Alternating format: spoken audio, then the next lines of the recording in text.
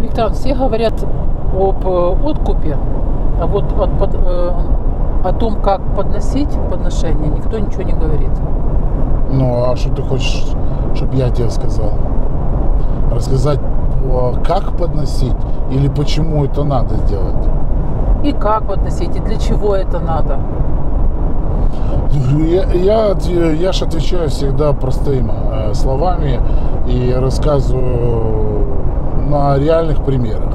Ну вот давай представим себе, человек приходит на, на какой-либо завод, а завод, к примеру, выпускает там а, надувные шары. Ну, я примером говорю. Вот завод специализируется на выпуске надувных шаров. Ты приходишь на этот завод и говоришь, мне надо там 10 тысяч этих шаров кто ты, что ты, откуда ты, почему ты. Мало того, ты ж не говоришь, блин, тебе надо. Ты говоришь так, заклинаю, чтобы это было так, чтобы в четверг это было тогда-то, 10 тысяч шаров были надуты, тогда-то, тогда-то, тогда-то. То есть, что тебе директор завода скажет? Он тебя пошлет на три веселые буквы. Почему? Потому что тебя не знают, кто ты, что ты, не знаешь ни, ни, никто не знает, никто ничего не может сказать.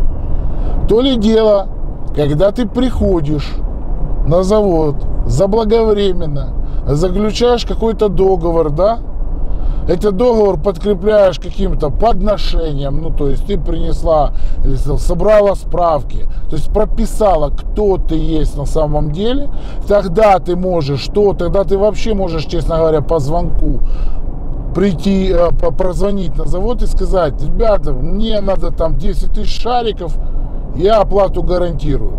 И тогда завод, он понимает, с кем он работает, да, он тебе будет, он тебе поставит этих 10 тысяч шаров, он тебе сделает то, что ты хочешь, и тогда, когда тебе надо. То же самое с силой получается. Некоторые считают, что без подношения они могут прийти, сказать, что им надо, а другими словами и порой не сказать, что надо, а приказать силе. То есть я повелеваю тебе, чтобы это было так-то и так-то, чтобы этого там наказать или этого помиловать, перебросить. То есть они четко указывают, что силе делать и когда, с кем, э, наивно полагая, что она будет это выполнять, эта сила. Другое дело, когда ты при, преподносишь силе а, свое предрасположение, когда ты с силой предварительно договариваешься, тогда ты, когда а, силу, получается, предварительно просишь, и что самое главное, задабриваешь. То есть как бы подмазываешь, да, то есть есть и есть подношение. То есть тебя, тогда, когда ты носишь подарки, тебя реально готовы видеть, тебя знают, тебя рады видеть и все остальное.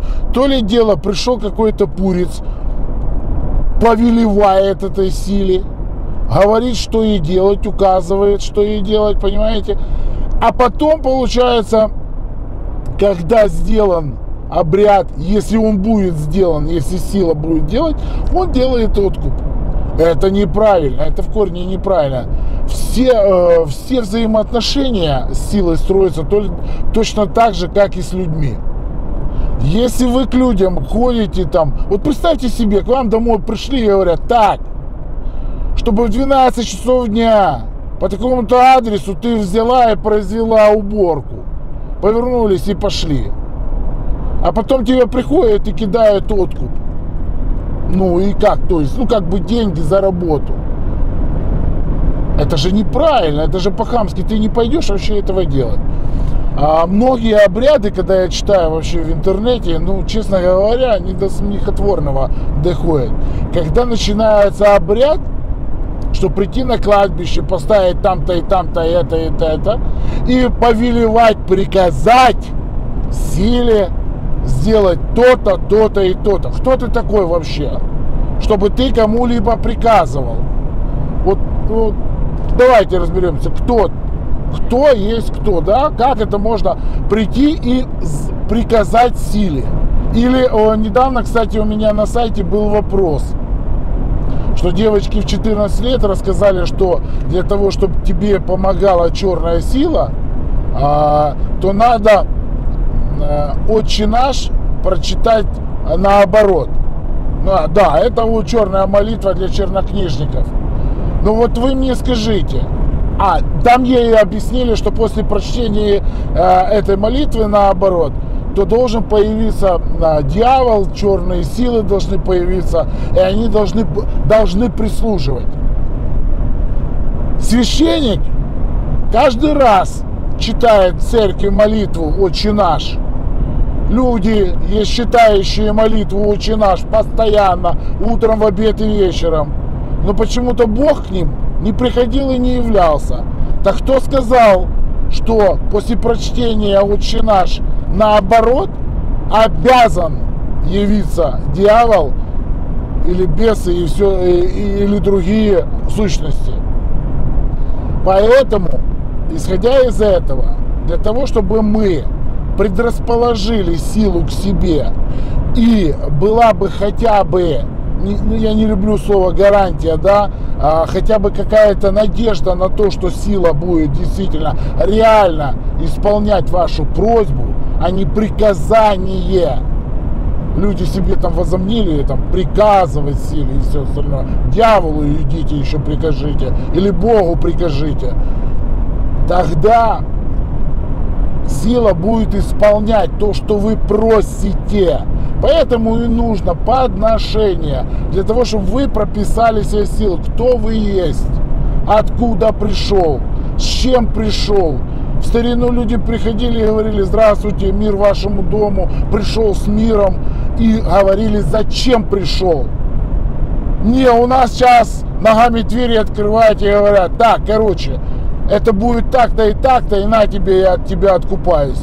И потом наивные некоторые ждут, чтобы это все исполнилось. Я надеюсь, ответил на ваш вопрос. Для чего нужно подношение? Да, спасибо большое.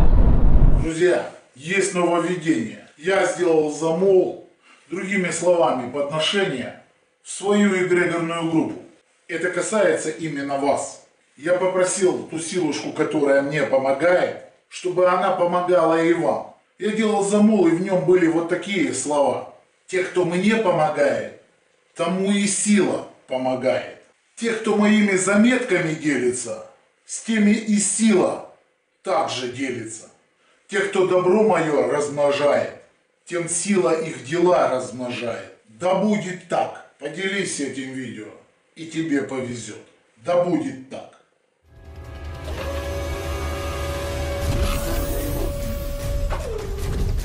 Ты еще не подписался на мои видео?